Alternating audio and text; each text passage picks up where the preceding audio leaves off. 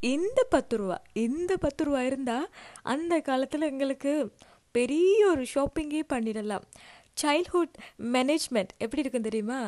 இந்த பத்து ரூபாவை எப்படியாச்சும் இவங்கட அப்பாட்டையோ அம்மாட்டையோ சொல்லி பள்ளிக்கூடம் போகும்போது வாங்கிடுவோம். வாங்கி வச்சு பத்து நாளைக்கு வச்சு ஊட்டலாம்ன்ற கணக்கில் வந்து வாங்கி கொண்டு போகிறது வாங்கி கொண்டு போயிட்டு பள்ளிக்கூடம் முடிஞ்சு வரைக்கில் அஞ்சு ரூபாய்க்கு ஒரு யூஸ் பேக்கெட் விற்கும் அது கலர் கலராக மஞ்சள் கலர் சிவப்பு கலர் பச்சை கலர் அதை முக்கியமாக ஏன் வாங்கி குடிப்போம்னு சொன்னால் அது குடிச்சு முடிய நல்ல டேஸ்ட்டாகவும் இருக்கும். அதோடு பார்த்தீங்கன்னு சொன்னால் இந்த லிப்ஸ் எல்லாம் வந்து ரெட் ரெட்டு கலர் சிவப்பு கலரில் இருக்கும். ஒரு ஒரு கலரில் இருக்கும். நாக்கெல்லாம் வந்து சிவப்பாக இருக்கும். அதுக்காண்டி சொல்லியே வாங்கி குடிப்போம். அஞ்சு ரூபாக்கு. அதோட பார்த்தீங்கன்னு சொன்னால் ஒரு பபுள் கம் இருக்குது. ரெண்டு ரூபா தான் இந்த பபுள் கத்துக்குள்ளே என்ன ஸ்பெஷல்னு சொன்னால் வாங்கி சாப்பிட்ட பிறகு வந்து சாப்பிட்றதுக்கு வாங்குறோமோ இல்லையோ அதுக்குள்ள ஒரு ஸ்டிக்கர் ஒன்று வரும். அந்த ஸ்டிக்கரை வந்துட்டு கையில் ஒட்டுறது ஒட்டி போட்டு இங்கே பாரு ஸ்பைடர் மேனு இங்கே பாரு பாபி டால் அப்படின்னு சொல்லி போட்டு காட்டுறது. அதோடு பார்த்தீங்கன்னு சொன்னால் இந்த ஒரு ரூபா டொஃபி இருக்குல்ல இது வந்து பார்த்தீங்கன்னு சொன்னால் ஒரு என்னென்னு சொல்கிறது கோப்பி சாப்பிட்ட மாதிரி கோப்பி குடித்த மாதிரி இருக்கும் இந்த ஒரு பாட் டொஃபி இதோட டேஸ்ட் இருக்கு பாருங்க. சொல்லி வேலை இல்லை அப்படின்ற மாதிரி இருக்கும். அதோட பார்த்தீங்கன்னு சொன்னால் கீழே இருக்க பாருங்க டே காட்டுன்னு சொல்லப்பட்டு இதோட ஒரு டைரி மாதிரி இருக்கும். இது வந்து ரெண்டு ரூபா அப்போக்கு ரெண்டு ரூபா அஞ்சு ரூபா தான் வருமென்னு நினைக்கிறேன். வாங்குறது வாங்கிட்டு குட்டியாக இருக்கும் நோட் புக் மாதிரி இருக்கும்.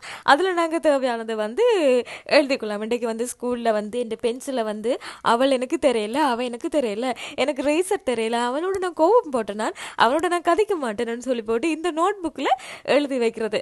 அப்படி ஒரு காலம் இந்த பத்து ரூபாவில் வாழ்ந்த காலம். இப்போ ஒரு டொஃபி எவ்வளோன்னு கேட்டால் இருபது ரூபா சொல்கிறாங்க அதாவது இந்த பபுள் கம் அந்த டொஃபி எல்லாம் வந்து கேட்டிங்கன்னு சொன்னால் இருபது ரூபா. நேற்று போன ஒரு கடையில் வந்து கோப்பி டொஃபி ஒன்று இருந்துச்சு. அப்போ வந்து எவ்வளோண்டு கேட்டால் அது இருபத்தஞ்சு ரூபாவாம். சரி சில்லறைக்கு வந்துட்டு மிச்சத்துக்கு அந்த டொஃபியை தாங்கன்னு சொல்ல இல்லை தங்கச்சி அது வந்து இருபத்தஞ்சு ரூபா அப்படின்னு சொன்னாங்க. அப்போ தான் பார்த்தேன் என்னது? இருபத்தஞ்சு ரூபாவா? இந்த காலத்தில் இந்த பத்து ரூபா வச்சு நாங்கள் படாத பாடு என்னெல்லாம் வச்சு என்னெல்லாம் வாங்கி சாப்பிட்றோம் சாப்பிட்ருப்போம் பெரிய அளவில் ஒரு ஷாப்பிங் பண்ணியிருப்போம். அப்படி என்று நினைக்கும் போது சரியான மாதிரி கவலையாக இருக்குது.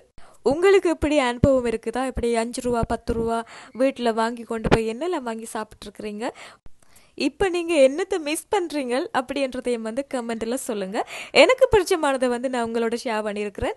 உங்களோட சைல்ட்ஹுட் மேனேஜ்மெண்ட் மெமோரிஸை வந்து இந்த காணொலிக்குள்ளே வந்து நீங்கள் கமெண்ட்ஸில் மறக்காமல் சொல்லிடுங்க. சரியோ?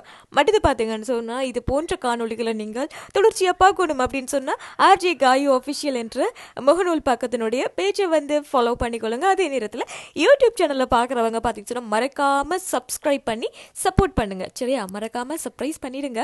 சரியோ?